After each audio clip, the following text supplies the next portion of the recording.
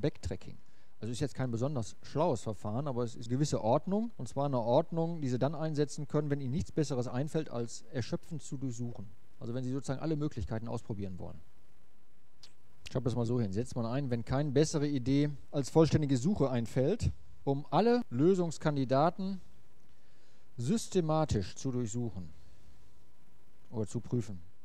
Wir haben ja ein ganz großes Labyrinth. Wir haben eine Maus, die möchte gern zum Käse. Die Maus sitzt hier oben.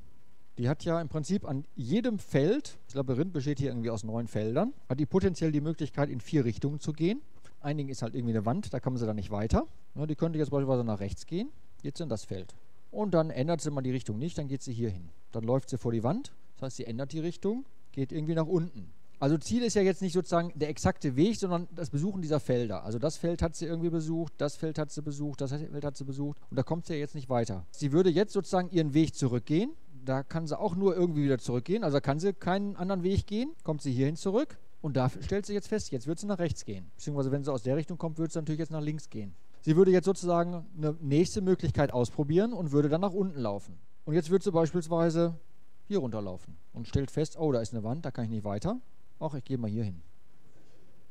Und hier an der Stelle kann sie nicht weiter, also geht sie zurück, prüft hier, kann ich denn noch eine andere Möglichkeit ausprobieren und stellt dann fest, jawohl, ich kann auch in diese Richtung und ist glücklich und findet den Käse. So, und das ist Backtracking. Backtracking heißt, ich laufe irgendwie runter und wenn ich dann nicht weiter kann, gehe ich zurück zu einer Stelle, um dann gegebenenfalls eine andere Möglichkeit auszuprobieren. Das Ding, was ich hier aufgezeichnet habe, dieser Baum, ja, das ist sozusagen so eine vollständige Möglichkeit, hier irgendwie zu durchlaufen. Wir fangen bei 1,1 an, kommen zum Feld 1,2, haben dann die Möglichkeit, entweder nach 1,3 zu gehen, ja, das wäre dieser Strang hier, da kommen wir nur noch zu diesem einen Feld, oder wir gehen halt hier hin zum Feld 2,2, haben da die Möglichkeit, einmal hier hin zu gehen, nach 2,1, beziehungsweise hier runter nach 3,2 und können dann nach rechts und nach links gehen. Ja, und Backtracking heißt, ich laufe sozusagen hier runter. Wenn ich dann hier nicht weiter kann, laufe ich nach oben und gehe halt die nächste Richtung. Und das können Sie beispielsweise immer dann machen, wenn Sie irgendwie so Spielchen haben, Spielprogramme. Konfiguration, mögliche Lösungen wären Stellung der Spielfiguren. Und wenn ich ausgehe von einer Konfiguration, aber noch keine vollständige Lösung habe, wäre sozusagen ein gültiger Spielzug eine Erweiterung dieser Lösungskonfiguration. Ja, oder Sie können das bei Planungs- oder Optimierungsproblemen einsetzen. Und wir gucken uns das jetzt mal an einem etwas größeren Beispiel an. Und zwar Acht-Damen-Problem. Es hat mit dem Schachspiel zu tun. Stellen Sie sich vor, Sie haben acht Freundinnen. Und jetzt stellen Sie sich vor, die sind fähig, sagen wir mal, so wahrzunehmen, dass sie irgendwie nach vorne und nach unten gucken können und irgendwie so diagonal gucken können. Ja, stellen Sie sich vor, Sie müssen die hier auf so einem Schachbrett positionieren. Die Freundinnen, die können nur in diese Richtung gucken. Ja, stellen wir mal vor, die steht hier. Die kann nur irgendwie hier hingucken. Und die kann vielleicht noch so gucken. Und sie müssen ihre acht Freundinnen jetzt so auf dem Schachbrett verstecken, dass sie sich gegenseitig nicht sehen können. Das ist halt das Acht-Damen-Problem. Und wenn sie des Schachspiels mächtig sind, ist das genau die Bewegung, die halt die Figur der Dame durchführen kann. Also wir würden jetzt beispielsweise hier eine Dame positionieren. Und dann würden wir gucken, wo können wir die nächste Dame positionieren. Also hier geht nicht, machen wir die Diagonale. Hier ginge. Und jetzt also alle Felder, die ich jetzt mit so einem Strich versehen habe, die sind durch die bislang positionierten Daten abgedeckt. Da bleibt schon nicht mehr so viel übrig. Also hier können wir jetzt noch eine hin positionieren. Die macht das alles dicht. Die macht das dicht, das hatten wir schon, und das dicht. Da kann noch eine rein. Dann haben wir aber den dicht und den dicht. Den haben wir auch dicht. Wir könnten jetzt hier noch eine positionieren. Dann ist Ende. Die letzte würden wir jetzt sozusagen wegmachen. Den können wir ja schon nicht. Also wir müssen sozusagen hierhin zurückgehen. Den machen wir weg, aber für die haben wir aber gar keine andere Position. Ne? Das heißt, wir müssen hierhin zurückgehen. Hier könnten wir die hin positionieren. Ne? Die hatte ich ja, der Strich kommt dann auch weg. Also wir könnten die jetzt hier hinschreiben. Und gucken, was dann passiert. Noch weniger. Also keine gute Idee, ne? Also weg, weg. Das heißt, wir gehen hierhin zurück. Die könnten wir hierhin positionieren. Das heißt, die machen wir weg. Jetzt würden wir hier eine Dame hinschreiben. Würden dann gucken, was fällt damit weg. Also hier diese ganzen Striche, die nerven ja, ne? Ja, und dann könnten wir gucken, was decken wir da ab.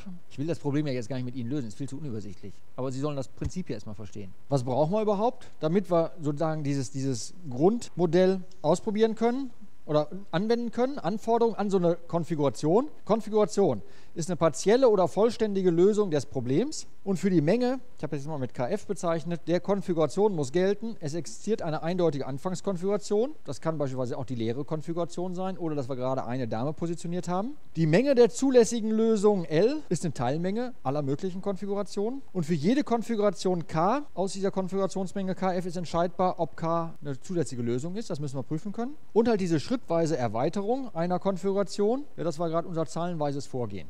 Das ist also irgendwie so die, die Voraussetzung. Diese Lösungskonfiguration, was brauchen wir da? Haben wir eigentlich zwei Bedingungen. L1, wir haben acht Damen auf dem Brett und keine zwei Damen bedrohen sich. Ich schreibe mal hin Schachspielzug. Für diese Menge KF dieser Konfiguration in dieser Anwendung sehe das so aus, dass n Damen auf dem Spielbrett verteilt sind, wobei gilt 0 ist kleiner gleich n kleiner gleich 8. Ja? Wenn wir jetzt irgendwie so schrittweise vorgehen, sind alle diese Anforderungen hier erfüllt. Ja, und dann irgendwie so ein einfacher Algorithmus könnte dann so aussehen. Platziere Dame i, ja, VH gleich 1 bis 8. Das ist sozusagen das zeilenweise Vorgehen. Wir gucken uns an, wenn ein Feld IH, würden jetzt also anfangen mit Platziere Dame 1. Wenn das nicht bedroht ist, dann setzen wir eine Dame auf das Feld hin. Wenn das Brett voll ist, dann geben wir die Konfiguration aus und ansonsten platzieren wir halt die nächste Dame. Das hier ist natürlich eine komplexe Operation. Da prüfe ich ja einfach, wenn ein Feld nicht bedroht ist. Das heißt, die anderen Damen, die da schon stehen, die decken sozusagen gewisse Felder ab. Das muss ich halt prüfen. Wir machen das jetzt mal am Beispiel eines Vier-Damen-Problems. Es ist ein bisschen übersichtlicher. Das wäre die leere Konfiguration. Wir müssen eine Dame setzen und initial ist kein einziges Feld bedroht, setzen wir die einfach hier hin. Was haben wir jetzt für Möglichkeiten? Wir können die Dame entweder hier hinsetzen, ja, weil das Feld ist nicht bedroht von dem hier. Das deckt das ab, das, das, das und das. Oder wir können die Dame hier hinsetzen. Auch das Feld ist nicht bedroht. Wir verfeinern sozusagen unsere Lösung, ausgehend von der leeren Lösung, haben wir eine Teillösung, wo eine Dame gesetzt ist, Teillösung, wo zwei Damen gesetzt sind und würden halt jetzt weiter gucken. Was können wir hier noch machen? Den haben wir gesetzt, den haben wir gesetzt und wir könnten jetzt noch, den können wir nicht nehmen, kommen wir gar nicht weiter. Ne? In der dritten Zeile können wir keine Dame mehr setzen. Ich fange mit 1 an, dann gehe ich zur zweiten über, dann zur dritten, zur vierten, zur fünften. Also ich gehe wirklich schrittweise, inkrementiere ich die Zeilenanzahl. Mit dieser Schleife 1 hier probiere ich quasi alle Spalten aus. Ja, also das würde ich jetzt so machen, den habe ich ausprobiert und dann würde ich hier einsteigen. Das ist i gleich 1, i gleich 2, i gleich 3 und würde dann in dieser Schleife erst den ausprobieren. Der geht aber nicht, der ist bedroht. Der geht auch nicht, der ist von dem bedroht. Der geht auch nicht, ist auch von dem bedroht und von dem und der geht auch nicht. Das heißt, ich würde jetzt zurückgehen, würde den nicht setzen und würde dann quasi das überprüfen. Ich habe das jetzt nur hier sozusagen in einem Baum aufgezeichnet. Würden dann wieder aufrufen den dritten. Das ganze Zeug ist ja hier irgendwie wieder schön rekursiv. Wenn wir hier zurückkommen und feststellen, wir sind noch nicht fertig, steigen wir halt in die nächste Zeile ein und hier könnten wir jetzt setzen den, ne? Der wäre zulässig. Aber dann geht es schon nicht mehr weiter. Würden wir hier unten reinspringen, den hätten wir, den hätten wir, den hätten wir. Der geht nicht, der geht nicht, der geht nicht und der geht auch nicht. Das heißt, wir gehen oben hoch.